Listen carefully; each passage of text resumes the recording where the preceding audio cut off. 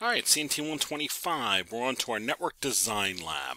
So I downloaded a copy of the lab here, um, and from D2L, you'll notice there's a lab there, podcast. I have a link for diagrams.net.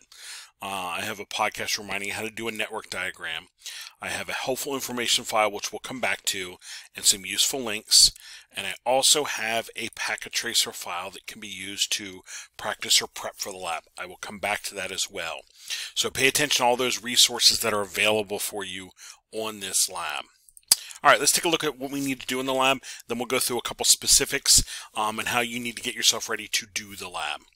So first thing here um, the Focus Lab is really pulled together a whole bunch of pieces you've done this semester into a design. You design and implement a network. And the kind of the quickest way I can describe this is, if you remember in CNT 120, you had to make a network map and pick out, pick out some equipment to make a, a network for a customer. Um, so you did kind of like the first step. I go, oh, this is this is our plan. This is what we're going to do for you. Well, this semester we're taking that a step further. We're going to plan it out for them we're then going to actually hook it up and implement it, saying, well, here's our plan for you, and then, you know, here's a working model to get you the network that you need for your site. That's what we're going to do. We're basically taking what we did in 120 a step further and implementing what we did. So just keep that in mind. And it's really going to be pulling pieces together from all semester too. All right, the first page here is what we would call the needs assessment. As we met with a customer, these were we took notes on what the customer needed. I'm going to keep going for now. Part one is where we're going to start on our network design lab. Um, the first piece we're going to do is our network design map, if you will. We're going to make a map of our plan. Um, just like at the beginning any lab I give you, I have a map there filled out. Um, and as the semester went on, I started leaving blanks and you filled it out. Well, this time you're going to do pretty much from the get-go. You're going to come up with a plan, um, IP scheme, ports, VLANs, etc. for the customer site and I'm going to want to want you to make it on a program like diagrams.net so you have a clean digital copy of your plan. Um, and now I'm going to remind you, you're going to print out a copy and bring to the lab because that is your plan for you getting your design working. And then when you're done, you're going to submit this plan along with your network files, along with your router and switch files, if you will. You'll submit this saying, this was my plan, and here's my files showing that my plan worked. Okay, so that's part one. We will start this together, and I'm going to give you time to work on this and get help um, so you know you're on the right track. Part two is we're going to hook it up and make it work in the lab room. Uh, we'll actually hook, it, hook your design up and make it work in the lab room. So here is a list of tasks you'll need to do. Again, we'll come back to this. Um, cabling up your network. I've reminded you about when you apply power to things, the kinds of things you need to configure on your switch, including the console password and the telnet access. Uh, router, same thing, console password, here's your console password, enable password, um, SSH access, and then the specific subinterfaces, DHCP, NAT, etc. that you'll need to do. We are going to configure phones too. Um, so you're looking back at your phone lab to help with that. And then once everything's working, I'm going to have a required access list you need to do uh, to filter wire, filter the wireless users. This is pretty much the the um, pretty much the same access list we did with the second part of the security lab. Actually, no, excuse me, the network management wireless lab. Uh, this is pretty much the access list you did there. That'll be required. And then I do have an optional here. You can do some extra and put an extra access list in for the IP phones. But again, I always say here, make sure you do this after everything's working and if you have time. We'll then need to hook your workstations up and test your network. So I have some things here about you'll cable one PC up to one of the phones. You'll connect the other phone directly into the switch. Um, you're going to take the other PC and hook it into a Wi-Fi VLAN port. Um, check that. And then you're going to check to can you get an IP? Can you browse to Google? You know, can the phones call each other? Can the use wireless users, you know, get an IP, get out to Google homepage, if you will? Um, and then here is a uh, another bonus you can work in. If you get everything up and working, uh, then add in the wireless access point you did with the wireless lab. Um, get one of those out of the cabinet, configure it, add it into your network so you legit have wireless on your network. And then last but not least, troubleshooting. Troubleshoot anything uh, that's not functioning in your network. Um, and you're going to be the first troubleshooter because you designed the network and implemented it. So you're the first person that needs to troubleshoot your design. You're the one that knows what you did, so you're the first person to troubleshoot. Um, so I remind you here about things you do and also remind you about, you know, if you're having issues, take your access list off uh, you know, put it in Notepad so you have it, delete it off the router, and then check your functionality. If it works, great. When you put the access list back, if it does not, well, then something on your access list is not right. That's another tip I give you here on troubleshooting. Uh, once it's all working as it should, you're going to demo this functioning to me. Um, there's actually points I'm giving you for seeing it function and work. So that's why I have this in big font, italicized and highlighted for you. Make sure you show me. And what I'll do is I will check that the workstations can get an IP and browse out, the phones can call each other, and then the wireless traffic is getting filtered. And I'll just check all those off. Um, and the rest of the stuff I'll get from your configs when you submit them. Last but not least is what you're submitting. You're going to submit your router config, your switch config, and your network map. And I'll remind you when we go over the lab and when we get done, if you make changes to your map as you're implementing your network, that's fine. Just update your map, update your network map, export a new copy, and then submit that to D2L because that's your that's your schematic, that's your game plan of what you're doing in your network. So I will I will literally load I will load your um text files, um, and then I'll load your map and I'll look at the map compared to your router and switch text files and go, yep, looks like the VLANs are there. Yep, looks like the subnets are there, etc. And then I have your cleanup commands here um, to, to clean it up. So that is the gist of what you're doing. If I keep going, here's the grade sheet of all the things we're checking off. Um, number of points on the map, number of points on your switch config, number of points on your basic router config, and the number of points on your advanced like NAT DHCP kind of config, voice over IP. And then down here, um, the testing. These are the things that I will check off while we're in the lab room and have everything hooked up. I have a little chart that I'll check off that I saw, yes, that worked on yours, yes, that worked on yours, and so forth. Um, so as you see down here, we're about, about the 80 point ballpark for this lab. This lab is probably about twice the points of regular lab because you're doing a lot of work.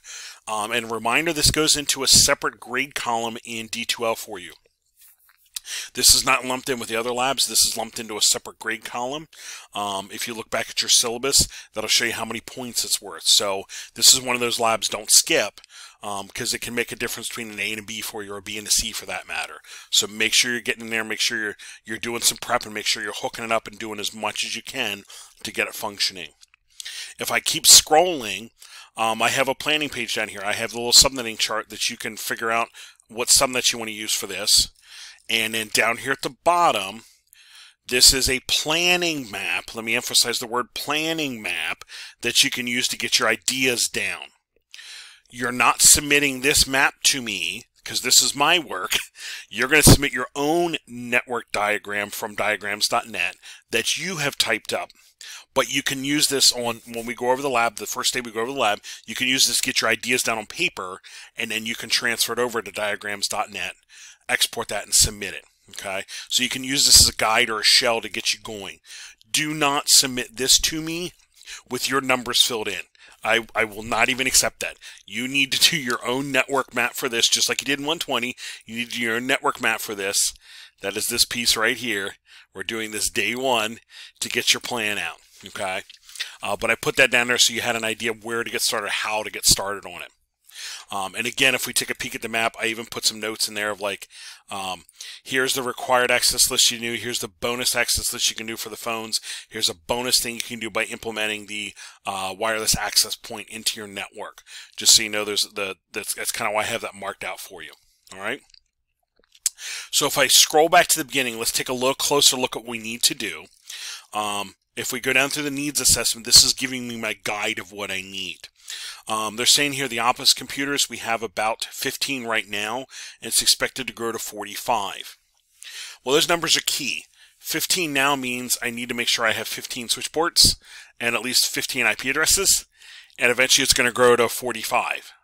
Uh, so 45 switch ports and eventually 45 IP addresses. So this is letting me know about my switch size as well as my subnet size. That's what that's that's that's, that's telling me. Um, and we're saying here they should be able to reach the internet, so NAT DHCP. Um, they should be able to receive all this. So any kind of filtering I do, I need to make sure that gets done. IP phones is very similar. 15 now, eventually 45. Um, so I need to make sure I can accommodate the 15 right now. Um, in the future, I need to make sure my subnet's large enough to accommodate the 45. Wireless users um, will be, and, and, here we're saying this needs to be secured from other traffic, so filtered, hence the access list. Um, and even here, I need this secured as well. So I'm thinking VLAN, VLAN for phones, VLAN for wireless users, and then also filtering for them too. That's the last line down here for access list. Um, and again, I need about, you know, 15 visitors, if you will, so I need a subnet of about that big um, that, that, I, that I need now. ISP, they're saying, hey, the ISP is going to give us a single IP address from this this field of numbers, if you will. Well, why I'm sharing that is I want to make sure I avoid that number scheme. If the ISP is giving us a 172 blah blah blah, I don't want to use 172 inside. Okay, so if the ISP is giving us 172 outside, I don't want to use 172 inside. So I want to use one of my other private schemes, my 10 or my 192. That way I'm avoiding as much confusion as possible. That's why that's being shared there. Um, down here, network design, again, your, your map, this is, you're going to build your map on uh, diagrams.net. If I go back to D2L, I have a podcast here reminding you how you did your diagrams in 120. You did one for the Chapter 2 lab and you did one for the Network Design lab. Um, so hopefully it's just a refresher to do this because you've done those tasks before. Um, you're basically just going to make a network map like I've been giving you all semester, but with your details in. So on your map, you're making sure you're using the right icons, making sure that the devices are labeled, make sure your ports are labeled, uh, make sure the connections between them are clear as to what you're connecting. You know, get rid of those zigzag lines, use the straight lines kind of thing. Um, make sure you're labeling VLANs, maybe even use a chart or color code if you need to. You might want to indicate with them this subnet goes to this VLAN, this subnet goes to this VLAN, this subnet goes to this VLAN to this group of users, etc. And you can even put that in a chart. Um, so you're showing that. Um, and then make sure you're indicating the IP addresses and subnet masks you're using on your ports. Um, when you're done with your diagram, make sure JPEG, PNG, PDF kind of thing so that D2L understands that. Okay, so make sure you have that game plan and make sure you export that to submit with your lab. Now I have a great big hint here. Print a copy of this to bring to your lab, the lab room. You need your your plan to implement your plan in the lab room. So make sure you're bringing a copy of your plan with you, um, or you know export as a JPEG and email it to yourself so you have it to download to your desktop when you're in the lab room. Make sure you have a copy of your plan. Okay, uh, that's your only that's your only help when you're troubleshooting. Um, and if, and I notice I, am putting the word if there, if Mr. Brown helps you troubleshoot, first thing I'm going to ask for is where's your plan? Let me see your map so I know what you're doing. If you don't have one, all Mr. Brown can do is shrug his shoulders and walk away. I don't know what your plan is, so I don't know how to help you. Okay, so make sure you have a good plan and make sure you're bringing that. All right. Part two in the lab room then, uh, I remind you about the task you're doing. You're going to cable up and you're going to apply power to phones later. Uh, on the switch, you're configuring these tasks. These are the things you'll need to do. And same thing on the router, you're configuring these tasks, all right? Um, and eventually voice over IP on here, and then eventually the access list. And here I always put a note of like, after you get, after you get everything working, then put your access list on. That way you're sure it's not the access list causing the issues. Um, and then here's a bonus one you can do if, if you have time, if you have time. And then here's the troubleshoot or the testing we're going to do. Um, PC into your uh, PC VLAN, um, actually PC into your phone, phone into a switch port. That'll test that connection. Uh, you'll plug the other phone into another phone port, and then the other PC you're going to plug into the Wi-Fi VLAN, so you can check the Wi-Fi VLAN traffic. And we're going to look to make sure we get an IP and can get out to Google. Same thing. Um, with the other PC here, make sure we can get an IP and get out to Google. And then the phones, we're going to make sure we can call each other. Okay. Here's a whole bunch of troubleshooting reminders. And I remind you as well when you're done, make sure you're showing me the functionality. Now, to help in the, the, the lab room, uh, if I scroll down here, here's your podcast for the design uh, map. Here's a helpful information file. This is almost like a great big notes file for pretty much any config we've done this semester. I compiled it all in one area for you. Maybe download this and have this handy do before you get to the lab room, do when you get to the lab room kind of thing. And then here's private addressing, IP phone configuration, or uh, IP phone switch port configuration. Here's your VLANs, etc., etc., remote access. I tried to compile it all in one spot for you so you had an easy reference file for your lab.